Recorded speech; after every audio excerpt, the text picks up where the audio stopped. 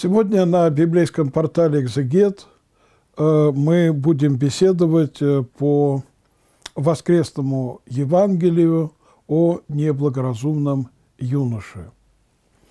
Это Евангелие от Матфея, 79 зачало, 19 глава, 16 по 26 стих.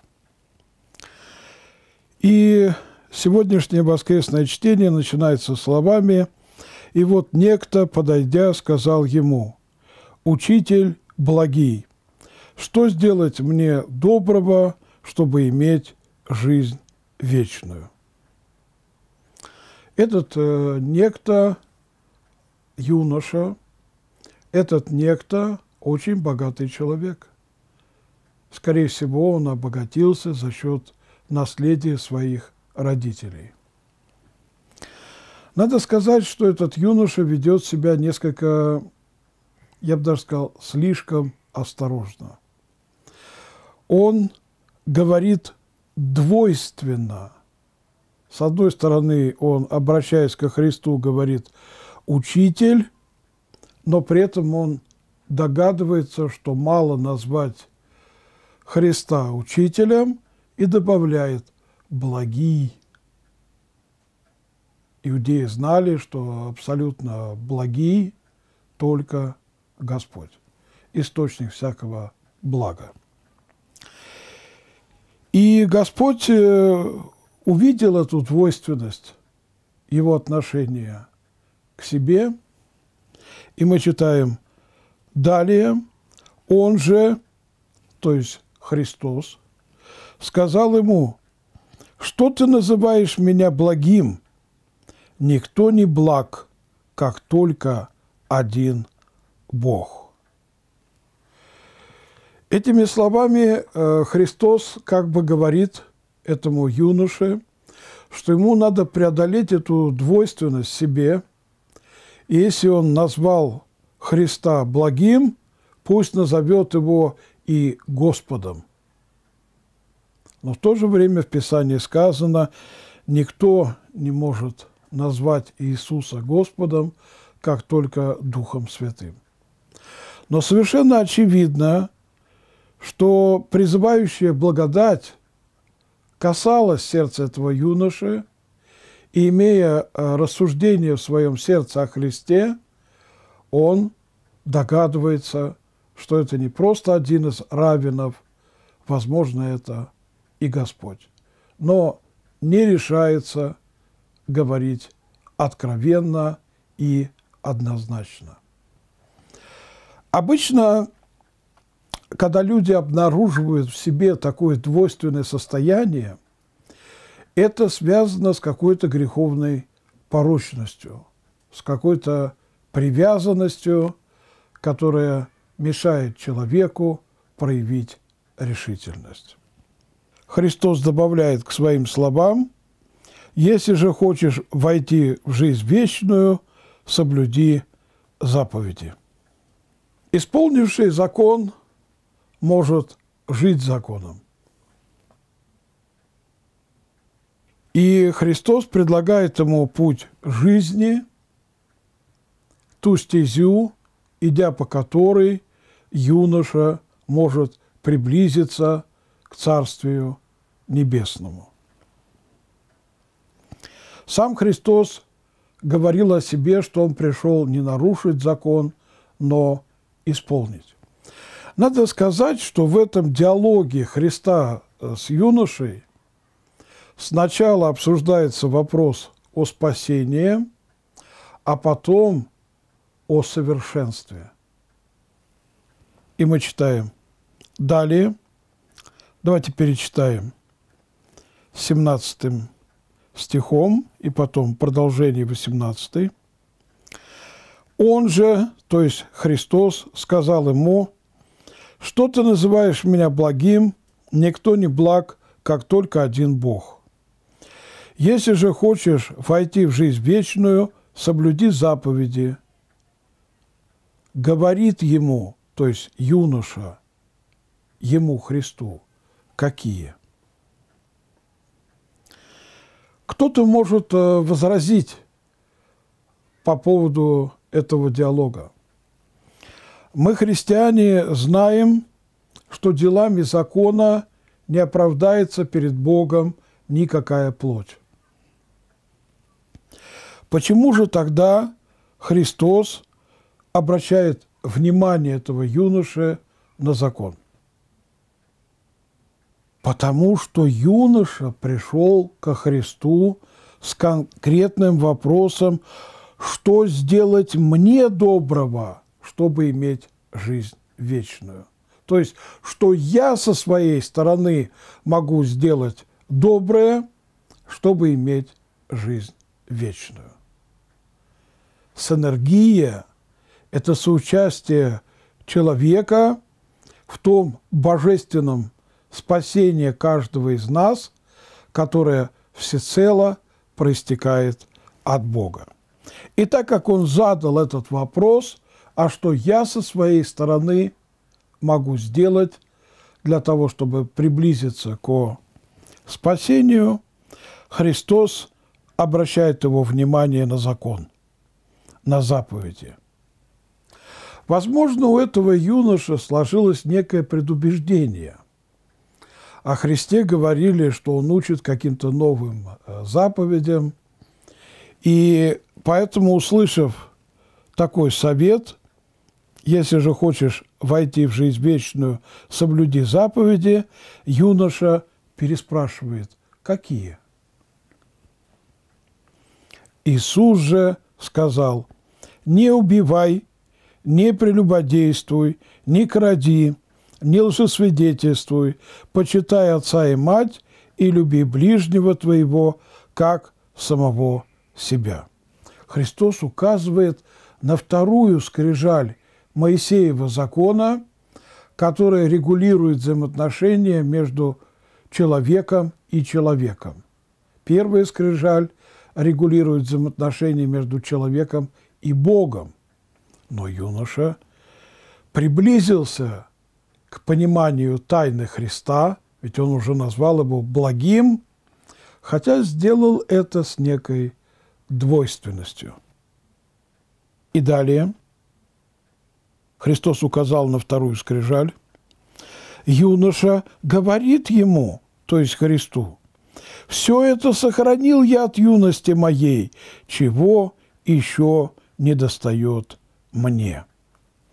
В других евангельских текстах говорится о том, что Христос возлюбил его за такой ответ.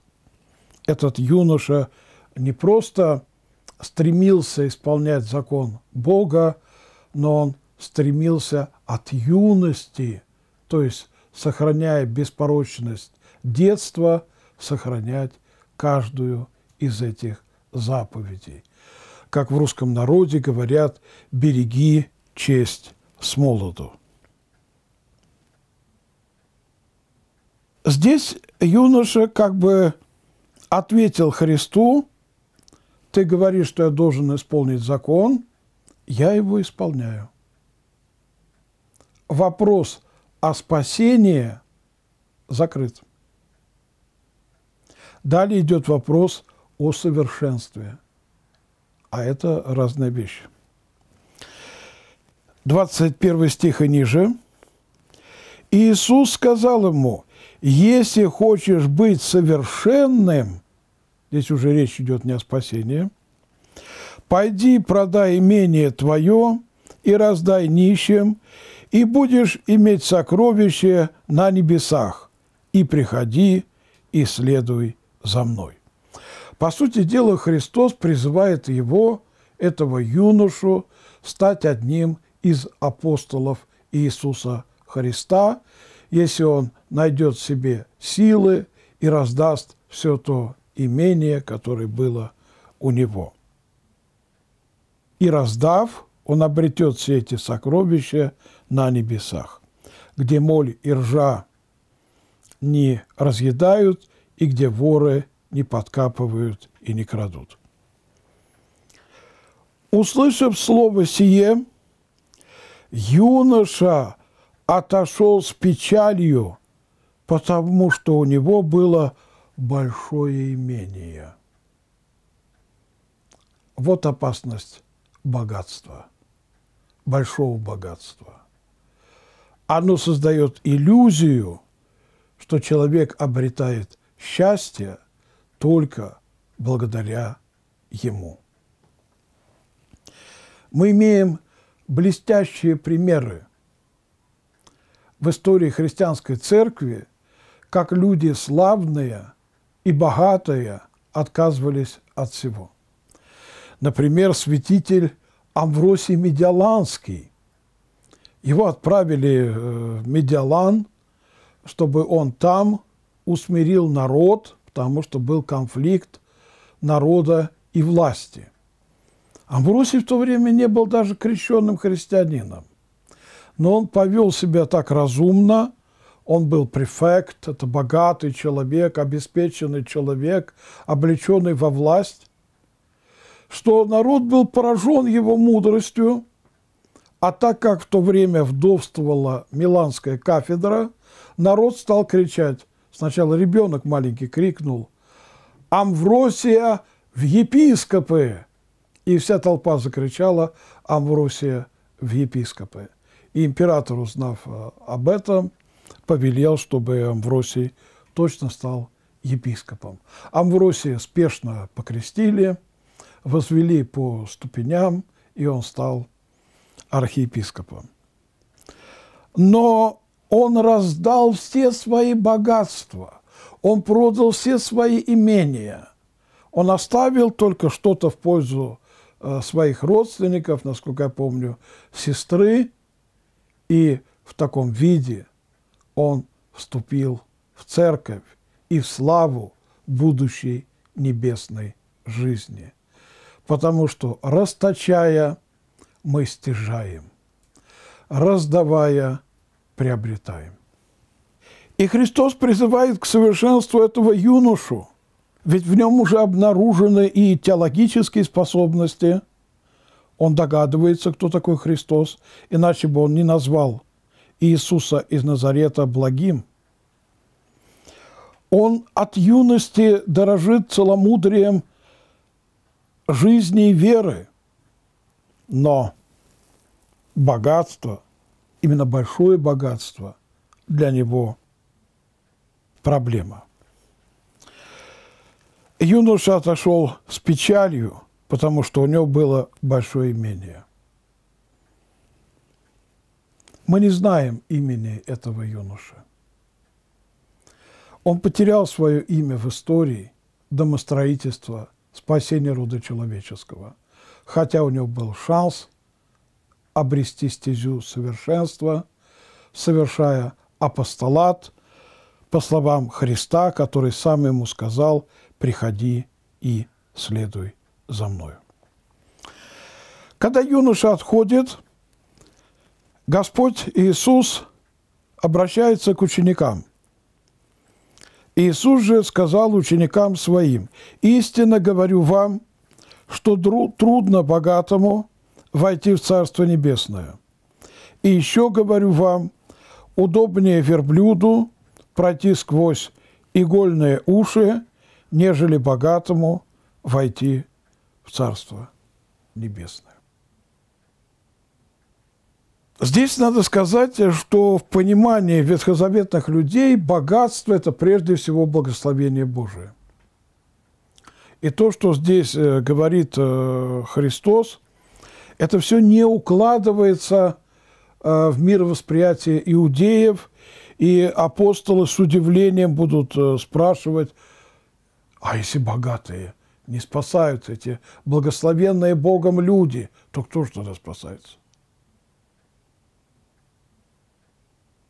Удобнее верблюду пройти сквозь игольные уши, нежели богатому войти в Царство Небесное. Есть такая точка зрения, что речь идет о воротах в Иерусалим – были такие ворота, которые не закрывались между огромными камнями, но туда можно было протиснуть верблюда, если с него все снять лишнее. Но похоже, что верблюдом называли толстую нитку, которая была соткана из э, верблюжьей шерсти. Если кто-то попытался бы эту толстую нитку засунуть в игольное ушко, у него тоже не очень бы получилось. В любом случае, это проблема, когда у человека большие грехи, большое богатство, большое себелюбие, большая гордыня. Все это мешает нам обрести мир с Богом и в Боге. Есть некая забота Бога о нашей жизни. Мы все люди небольшого достатка. И некоторые ропщут, думают о том, что, может быть, надо уехать из России. Но богатство – это зона риска. И если вы обретете это богатство где-то за границей, или Господь даст вам здесь какой-то достаток, это зона риска. Православный христианин, если он обладает богатствами, он воспринимает богатство как поручение от Господа. Как поручение от Господа. Это не значит, что он все раздает подряд, направо-налево. Нет в древней христианской э, книге э, Дидахи сказано, пусть милостыня твоя запотеет в твоей руке. Почему так сказано? Если богатство, которым ты обладаешь, это поручение от Господа, ты не имеешь права все это разбазаривать в прихоть своей гордыни для собственного самолюбования. Любое поручение от Господа надо выполнять рачительно и со смыслом. Услышав это, что богатому трудно войти в Царствие Божие, ученики его весьма изумились, потому что в их понимании, они еще ветхозаветные люди, богатство – это точно благословение от Бога. Например, сказано – в книге «Бытия», «И благословил Господь Авраама золотом, серебром, скотом, рабами, лошаками и так далее. А если богатый едва входит в Царствие Божие, то кто же может туда войти? Кто? Услышав это, ученики его весьма изумились и сказали, так кто же может спастись? Здесь интонация. Так кто же может спастись, если богатые даже не спасаются? Эти благословенные люди. И Иисус, возрев, сказал им, человеком это невозможно. В этом вопросе не имеет значения богатый, бедный юноша, старик, ребенок, мужчина, женщина. Человеком это невозможно. Что имеет в виду Христос? Он имеет в виду не тот разговор, который был, когда юноша спрашивал, а что мне сделать доброго? Когда мы спрашиваем у священников, а что нам надо сделать доброго, они правильно обращают наше внимание на Божий закон, как делает и Христос. Но никаких человеческих усилий недостаточно для того, чтобы обрести спасение. Я уж не говорю о совершенстве. Потому что невозможно ценой временной жизни – приобрести жизнь вечную. Ценой жизни на земле приобрести жизнь на небесах. Ценой тленной жизни обрести жизнь нетленную. Это несоизмеримые вещи. И в добротолюбии говорится о том, что если человек все сто лет своей жизни не спит, не ест, только творит богоугодные дела, что он может заслужить? Сто лет в раю, ни больше, ни меньше, по справедливости. Но нам за некую малость, если сосчитать, сколько времени мы молимся, ну хорошо, у кого-то наберется год за всю жизнь. Сколько времени мы творим добро, читаем Писание, участвуем в богослужении? Ну, три года наберется за всю жизнь. Предлагается за эту малость вечность. Кто же скажет, что он это приобрел, заработал и заслужил? Это была бы пелагианская ересь. И Христос говорит, человеком это невозможно. Потому что в результате грехопадения возник необратимый процесс, болезненный процесс, когда человек в беззаконии зачинается и во грехе рождается. Как я часто привожу пример, каким бы не был бы искусным хирург, он не может делать операцию на своем собственном сердце. Нужен Спаситель извне. Спаситель, который окажется посредником между нами и Богом. И святые отцы прямо говорят, посредником между Богом и человеками должен быть и Богом, и человеком. Такой посредник, Бога-человек, Христос Иисус, как и сказано в Писании, един ходатай един посредник между Богом и человеками, человек Христос, Иисус. А Иисус, возрев, сказал им, человеком это невозможно. И мы можем представить, как ёкнули сердца апостолов. Оказывается, не только простым людям, нищим это недоступно, но и богатым, как они уже убедились. Это вообще никому недоступно и невозможно. Но Христос решительно добавляет, Богу же все возможно. И Богу, которому все возможно, ему оказалось возможным воплотиться на земле и соделаться посредником и ходатаем между родом человеческим и Богом Отцом. Служение Бога Сына, Бога Человека, Христа Иисуса есть залог возможного спасения для всякого верующего в Иисуса Христа.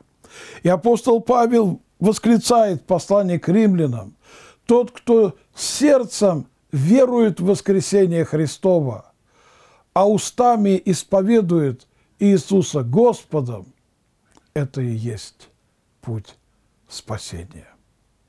Ибо воскресший из мертвых Христос силен воскресить и нас, в каком бы состоянии мы бы не оказались. Он даже сходил в ад и облистал ад сиянием божества. А так как о Христе сказано, что Христос всегда и вовеки тот же, в нем нету тени перемены, Он готов сойти в ад твоей и моей души и облистать сиянием божества. Разве не это мы переживаем, когда после исповеди приступаем к святым дарам и ощущаем присутствие Господа в своем сердце, в своей жизни? Вот что значит невозможное для человеков возможно для Бога.